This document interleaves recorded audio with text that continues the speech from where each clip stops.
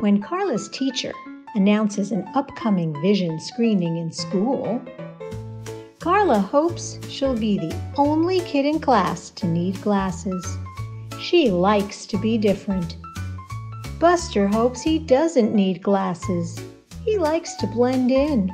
Carla is so excited about the possibility of getting glasses that she starts wearing homemade funky frames to school. And on vision screening day, Carla thinks the eye tests are fun.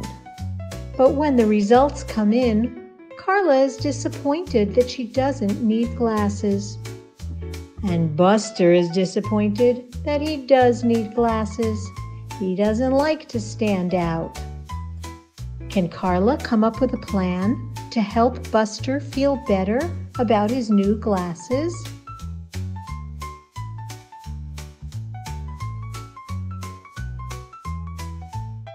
Carla's Glasses is a companion to the award winning Carla's Sandwich that will be adored by kids with or without glasses.